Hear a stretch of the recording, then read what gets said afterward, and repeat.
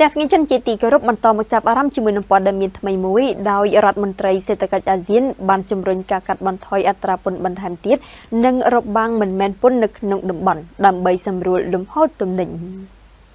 រដ្ឋមន្ត្រីសេដ្ឋកិច្ចអាស៊ានបានប្រជុំពិភាក្សាអំពីការកាត់បន្ថយអត្រាពន្ធមួយចំនួនបន្ថែមទៀតនិងការកាត់បន្ថយរបាំងមិនមែនពន្ធជាអតិបរមានៅក្នុងតំបន់ដើម្បីសម្រួលនិងបង្កភាពងាយស្រួលសម្រាប់ការធ្វើចរាចរណ៍ទំនិញដល់ប្រទេសមួយចំនួនដូចជាកម្ពុជាឡាវមីយ៉ាន់ម៉ាសិង្ហបុរីថៃដែលអង្គប្រជុំបានបង្ហាញការគ្រប់គ្រងលើសេចក្តីព្រៀងតារាងកាត់បន្ថយអត្រាពន្ធដែលស្នើឡើងកាលពីពេលកន្លងមក បើតាមការលើកឡើងរបស់លោកប៉ែនសុវិជាតិអនុរដ្ឋលេខាធិការនិងជាអ្នកនាំពាក្យក្រសួងពាណិជ្ជកម្មក្រោយបញ្ចប់កិច្ចប្រជុំរវាងរដ្ឋមន្ត្រីសេដ្ឋកិច្ចអាស៊ាននិងរដ្ឋមន្ត្រីតំបន់សេដ្ឋកិច្ចសេរីអាស៊ានលើកទី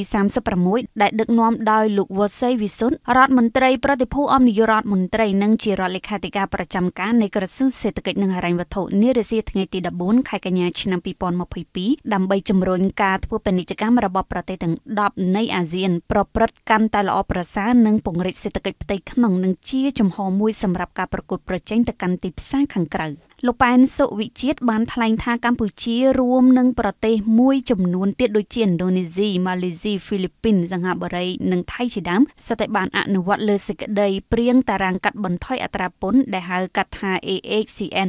2022នេះនិងលើកទឹកចិត្តឲ្យប្រទេសជាសមាជិកដទៃទៀតចូលរួមអនុវត្ត AHCN 2022ផងដែរជាមួយគ្នានេះដែរកិច្ចប្រជុំក៏មានការជជែកពីកិច្ចសម្រួលពាណិជ្ជកម្មផ្ដោតទៅលើរបាំងមិនមែនពន្ធដែលជាឧបសគ្គសម្រាប់ការធ្វើពាណិជ្ជកម្មលោកបានលើកឡើងថារបាំងមិនមែនពន្ធជាកត្តារួមចំណែកមួយដែលបង្កើននៅថ្លៃដើមរបស់ទំនិញហើយដូច្នេះហើយប្រសិនបើមិនជំរះនៅរបាំងមិនមែនពន្ធនេះឲ្យមានប្រសិទ្ធភាពនោះទេនឹងនៅតែជាឧបសគ្គសម្រាប់ការធ្វើពាណិជ្ជកម្មបើទោះបីជារបាំងពន្ធទម្លាក់ហើយក្តី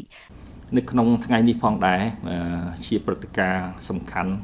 ក្រៅអំពីការចាប់ផ្ដើមជាផ្លូវការនៃកិច្ចព្រមព្រៀងកិច្ចប្រជុំរដ្ឋមន្ត្រីសេដ្ឋកិច្ចអាស៊ានយើងឃើញមានកិច្ចប្រជុំ រវាងរដ្ឋមន្ត្រីសេដ្ឋកិច្ចអាស៊ានគេហៅថានឹងរដ្ឋមន្ត្រីតំបន់សេរីសេដ្ឋកិច្ចសេរីអាស៊ានគេហៅថា After Council Minister ដែលជាកិច្ចប្រជុំដឹកនាំដោយអាយដាមវង្សសីវិសុទ្ធដែលជារដ្ឋមន្ត្រី After Council របស់កម្ពុជាហើយ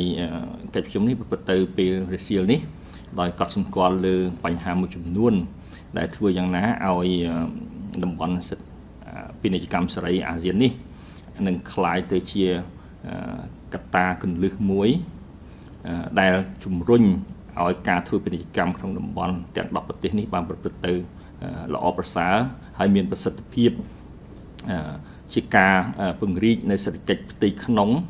រវាងយើង ដើម្បីជាជំហរមួយ សម្រាប់ការប្រកួតប្រជែងទៅកាន់ទីផ្សារខាងក្រៅក្នុងនោះ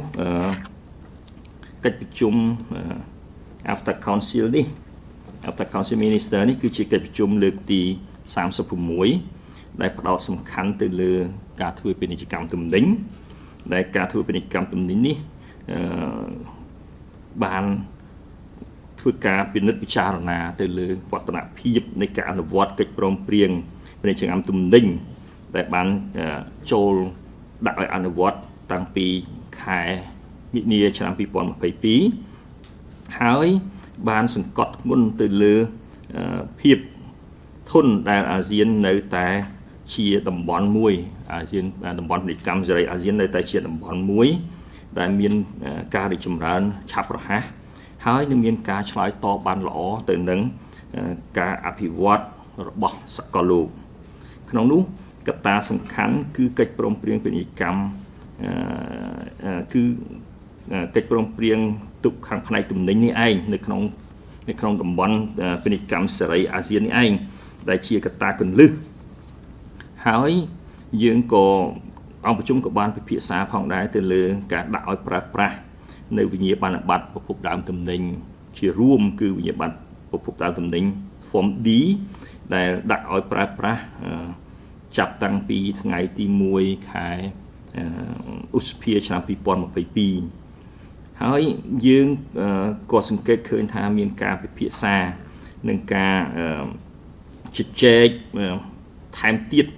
នៅសេចក្តីព្រៀងអំពីការកាត់បន្ថយអត្រាពន្ធមួយចំនួនថែមទៀតដើម្បីសម្រួលយ៉ាងណា ដល់ប្រទេសមួយចំនួនរៀមរួមមានប្រទេសកម្ពុជាឡាក់នឹងឡាក់ឡាវមីយ៉ាន់ម៉ាសិង្ហបុរីឬ ថៃអីដើម្បីឲ្យមានភាពងាយស្រួលក្នុងការធ្វើចរាចរណ៍ទំនិញរបស់ខ្លួនក្នុងករណីនេះអង្គប្រជុំបានធ្វើការស្វាគមន៍នៃការផ្ដល់នៅការគ្រប់គ្រងដល់សេចក្តីព្រៀងការកាត់បន្ថយតារាងកាត់បន្ថយអត្រាពន្ធដែលបានស្នើឡើង ដែលគេហៅថា AHCN 2022 ក្នុងដែរអង្គប្រជុំក៏បានកត់សម្គាល់ថាមានប្រទេសចំនួន4ដែលជាសមាជិកអឺមិនទាន់បានប្រើប្រាស់បានប្រើប្រាស់ទម្រង់វិញ្ញាបនបត្រប្រភពដើមទំនិញជាទម្រង់អេឡិចត្រូនិកពេញលេញហើយក៏នៅតែមានប្រទេសមួយចំនួនទៀតកំពុងតែរៀបចំប្រើប្រាស់ទម្រង់នេះនៅក្នុងការអនុវត្តការចេញវិញ្ញាបនបត្រប្រភពដើមទំនិញរបស់ខ្លួន ហើយខ្ញុំបាទសូមបញ្ជាក់ថាវិញ្ញាណប័ណ្ណបត្រប្រភពដើមទំនិញទម្រង់ D នេះ ជាវិញ្ញាណប័ណ្ណបត្រប្រភពដើមទំនិញដែលអឺធ្វើឡើងសម្រាប់ការប្រើប្រាស់សម្គាល់ប្រភពដើមទំនិញដែលមានដើមកំណើតពីប្រទេសជាសមាជិកអាស៊ានទាំង10នេះឯងអញ្ចឹងការជំរុញឲ្យមានការប្រើប្រាស់ទម្រង់ជាអេឡិចត្រូនិកយើងហៅថា e-form D នេះជាការប្រើប្រាស់ ជាការជំរុញមួយដែលឈានទៅរកការធ្វើ digital នីយកម្មនៃការចេញឬក៏ការបម្រើសេវាតាមរបៀបទម្រង់ digital ក្នុងនោះដែរនៅក្នុងកិច្ចប្រជុំ After Council លើកទី36នេះក៏មានការជជែកអំពីកិច្ចសម្រួលពាណិជ្ជកម្មដែលកិច្ចសម្រួលពាណិជ្ជកម្មនេះផ្ដោតទៅលើការរៀបចំឲ្យមានអឺ toolkit មួយបានន័យថាគំរូនៃការចងក្រងមួយ